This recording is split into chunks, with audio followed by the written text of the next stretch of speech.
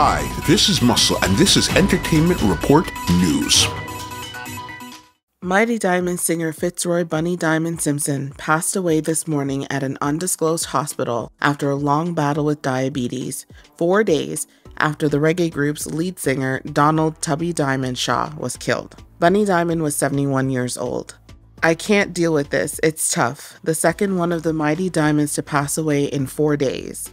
He died this morning in hospital. He had been sick for a while, said Frankie Campbell, chairman of the Jamaica Association of Vintage Artists and Affiliates. To lose Tabby and Bunny so close together is a hard thing to deal with, said Campbell.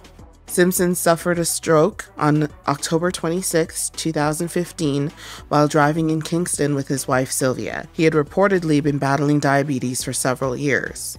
Donald Tabby Diamond Shaw was one of the two men shot dead in a drive by shooting on McKinley Crescent in Kingston earlier this week. He was the Mighty Diamonds' lead vocalist. Thank you for watching.